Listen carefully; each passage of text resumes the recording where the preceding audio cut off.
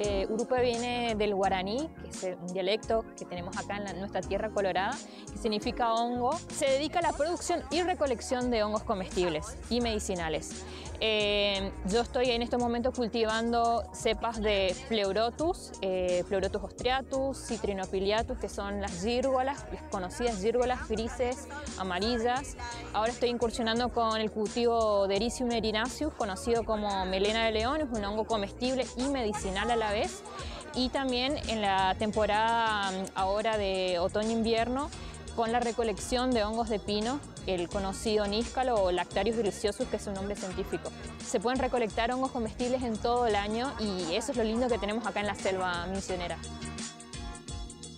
María Bárbara es un emprendimiento familiar que nos dedicamos a cultivar principalmente gírgolas, estamos abarcando toda la cadena, desde producir el micelio, después cultivar los hongos, agregarle valor en escabeches, en frescos, en deshidratados y también la parte de la comercialización.